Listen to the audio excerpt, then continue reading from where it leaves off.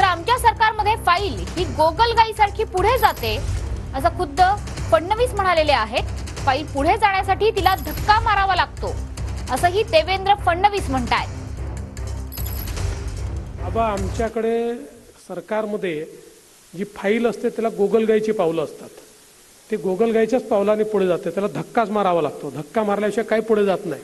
आपण त्या ठिकाणी आपल्या बजेटमध्ये विद्यापीठाची घोषणा देखील करून टाकली त्या संदर्भातले जी आर देखील काढले. आणि आज मला अतिशय आनंद आहे की पहिलं मराठी भाषा विद्यापीठ हे रिद्धपूरला स्थापन झालेलं आहे. जे जे आपण घोषित केलेलं आहे ज्या ज्या मागण्या आपल्याकडे आलेल्या आहेत त्या सगळ्या मागण्या या निश्चितपणे पूर्ण होतील.